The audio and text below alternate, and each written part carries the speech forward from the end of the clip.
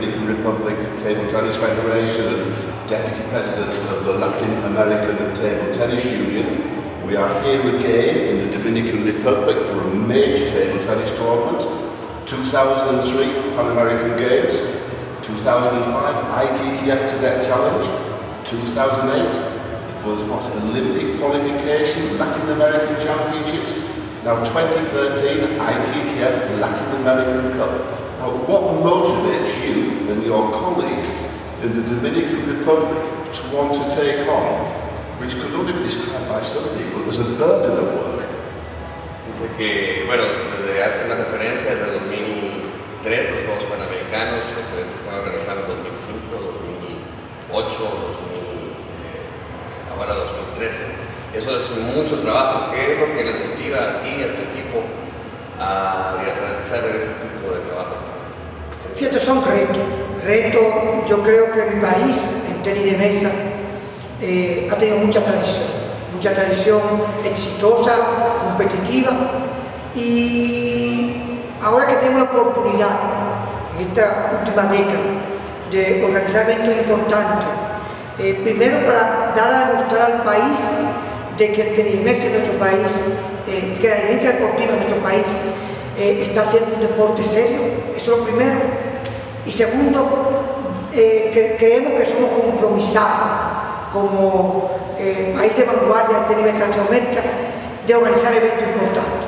For them it's uh, like a challenge first, and they accept this kind of challenge because uh, Dominican Republic is a traditional country in, in, America, in the Caribbean region, so they are very strong.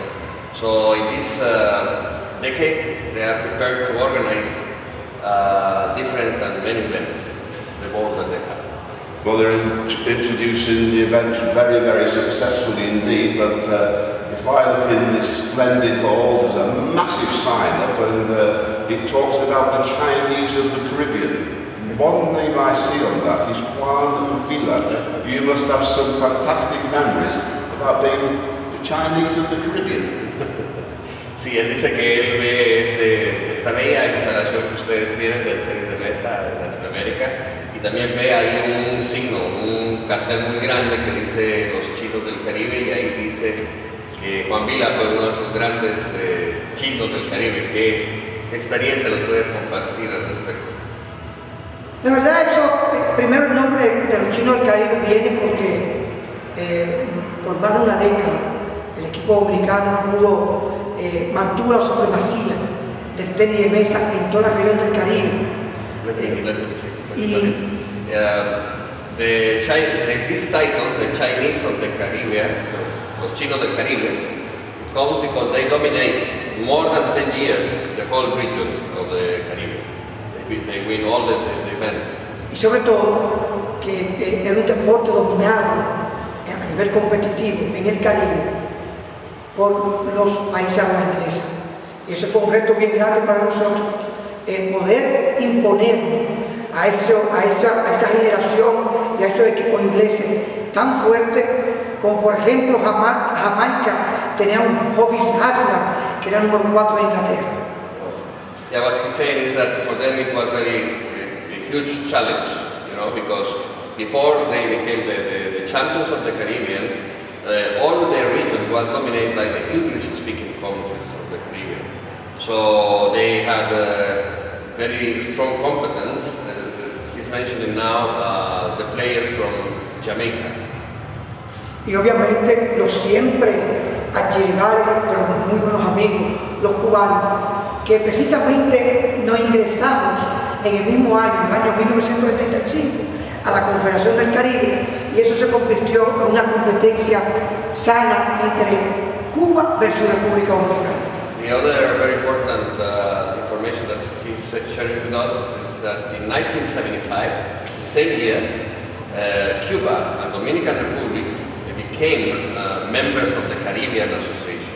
So this uh, generates a huge uh, competition between Cuba and, and, and Dominican Republic, but, but this competition was very healthy. Well, of course, you mentioned Jamaica. We had in England a certain Warville Les Haslam, mm and of course, born in Jamaica was perhaps England's greatest player, Desmond Douglas. and uh, he came in the 1950s to England. But you mentioned the challenge, and I can see by your face you revel in the challenge, you like the challenge. So what is the next challenge for the Dominican Republic?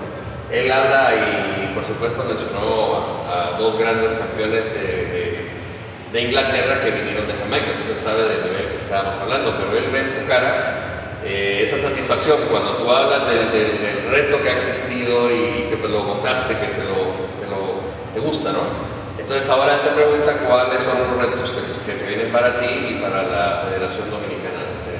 Yo creo que República Dominicana debe organizar todavía no, no hemos especificado, pero un torneo juvenil, mundial juvenil.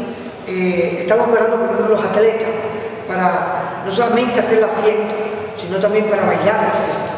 Y para eso estamos preparando, tenemos una escuela de jugadores preinfantiles y espero en el próximo cuatrenio, eh, terminado el próximo cuatrenio, comenzar a pensar un torneo mundial juvenil con jugadores muy talentosos y que puedan bailar en la fiesta Yeah, it's very nice.